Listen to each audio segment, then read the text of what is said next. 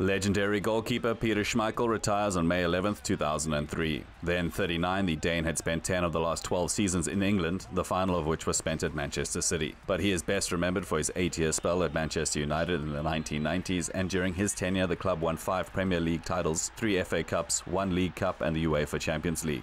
During the 94-95 Premier League season, Schmeichel kept a remarkable 22 clean sheets, a record that stood for a decade and was only broken by Peter Cech in 2005, who is now widely considered the best goalie ever to have played in the Premier League. But then Cech never scored any goals and Schmeichel scored 11. Staunton with it, almost fell for Schmeichel, does! And it's in! Peter Schmeichel scores for Aston Villa! The ninth goal of his extraordinary league career.